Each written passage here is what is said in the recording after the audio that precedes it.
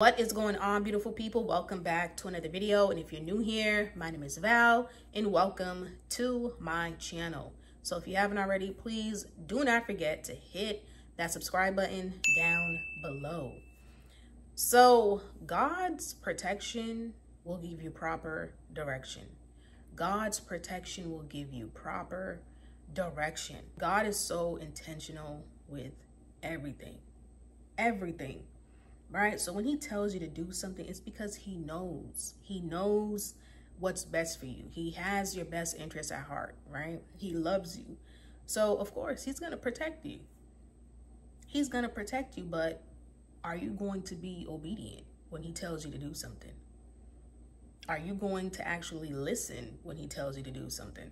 There's a reason why he told you, hey, take that left, don't go straight. If you would have went straight, there was an accident waiting for you. There's a reason why he said, take that job and not that job. Because if you would have went with the other job, you would have been miserable, okay?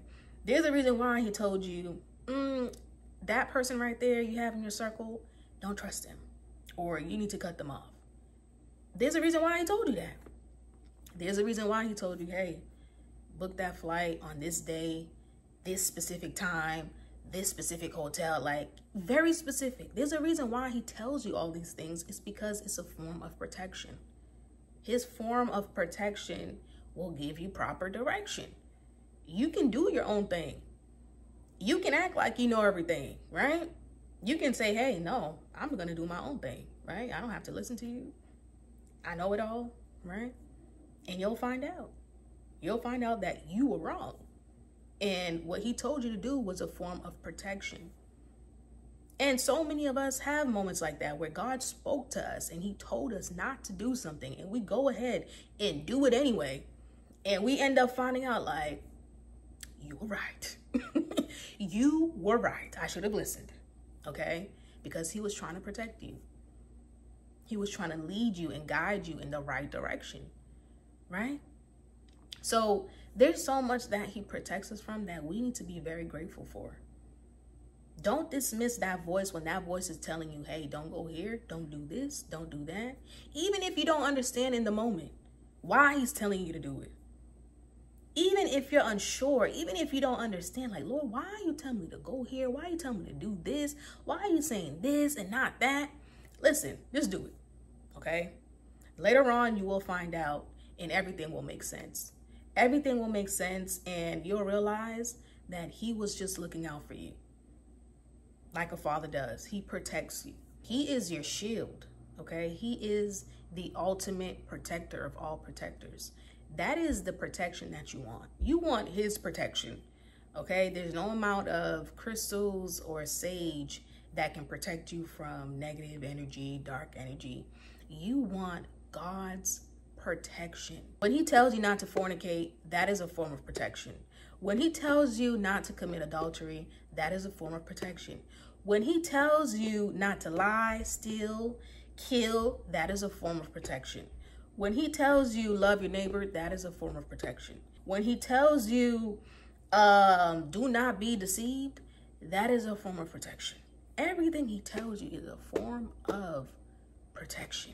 People follow directions of the world, right? We follow laws and regulations and directions at school, at work. We follow um, state laws, government laws. Like we follow everything else. We follow everything else. But God tells you, hey, don't fornicate.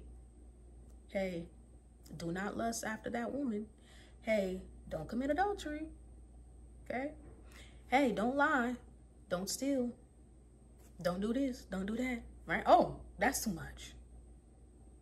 No, that that's it's control. Hey, uh, love your wife like Christ loved the church. Hey, submit to your husband. Absolutely not. I'm not doing that. And it's like, but you follow everything else, right? You follow the rules at work, you follow the rules at school. From the time you were a child, you've been following rules rules of your parents, right? Household rules, clean your room, take the garbage out, do this, wake up for school, pack your lunch, do your homework, sit down, get up, raise your hand to go to the back. Like you follow all these rules throughout your life. And when God tells you, right, hey, don't do this, don't do that, it's a form of protection. He's telling you that because he wants to protect you. He wants to look out for you because he knows what's best for you. He knows if you go against what he tells you, that's going to be your destruction. He's the one that created you. He made you. He's all knowing, so you can't outsmart him, right? But when you do things your way, you end up finding out that your way doesn't work. It doesn't work. For many of us, before we came to Christ, we were just, you know, doing our own thing, living in the world, right? Thinking that, you know, we knew it all and I'm just going to live my life and that's just going to be it. And we had an awakening where God spoke to us in some type of way. You know, everybody's testimony is different, but God spoke to you in a way where you knew it was Him. You knew He was calling you. You knew He was telling you, hey, it's time. It is time. I need you to give your life. It's time, right? And now looking back, you're like, man, like if I was still in the world, like I would be lost. Whether he spoke to you in a dream or you heard his voice, or maybe you were listening to a sermon, or maybe you were worshiping and you felt his presence, however he spoke to you, right?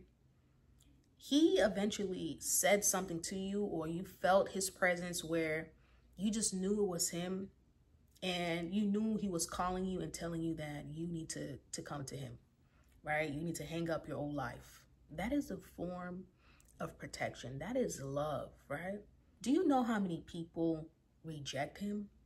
Do you know how many people hear that voice and they say, I'm not ready, as if they're in control of their own life? Some people say, you know, they just need to live a little bit more, right? I need to live my life. I need to have fun and, you know, I, I just got to live my life. And when I'm older and, you know, when I'm like 75, I'll be ready. You know, I'll be ready to give my life. Listen to that voice because you have no idea what he's going to do with you. You have no idea what he's protecting you from, right? Because he sees before you. So listen to that voice when he is calling you. When I think about my old life, I know for a fact if I was still the old me, man, my mind would be jacked up. Number one, I'll be lost. Um, living in fornication, like I would be messed up and thinking like this is just the norm. Like that's just how my life is supposed to be and just doing everything that everybody else does, living in fornication, uh just doing whatever, not caring about the consequences. But God had to shake me up and he got my attention and he literally put me in a position where I was completely isolated. Completely isolated by myself and nowhere to run, nowhere to hide, None of that. Just me and him. And I just fully surrendered. Like, you got me now. Like, this is it. like, okay, you got me. You got me. You took everything. You got my attention. In that moment, I had no idea what was going on. But it wasn't until afterwards I understood that it was a form of protection because of the life that I was living. Okay, he had to yank me out, yank me out of fornication, yank me out of that relationship, yank me out of this friend group, yank me out right? You don't belong here. You're not supposed to be doing this. No, yank you out, set apart completely, right? So in that moment, you know, I'm angry. I'm like, what is going on? I don't understand. But all along, it was just God protecting me, protecting me from um, heartbreak, protecting me from destruction, leading myself down the wrong path, protecting me from a life of fornication, protecting me from so many things. Sometimes God will get your attention in the most extreme ways, right? Because he knows how each of us operate. He knows how to get our attention in different ways. He knows what to do to get your attention, right? He knows how you are. He knows how you operate. He knows how you think. And he knows how I am. And he knows that, number one, I'm a thinker. I'm very observant. So he got my attention by isolating me, making me be alone and he started revealing things to me and I started putting the pieces of the puzzle together and everything started to make sense, right? Everything started to make sense. And I'm glad I went through what I went through. I'm glad I went through the isolation season.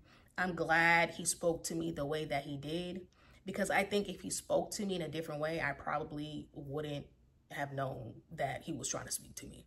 So he knows you. He knows you. And when he speaks to you, don't ignore that voice. So hopefully this video was helpful. Please do not forget to give it a thumbs up and I will see you guys in the next video.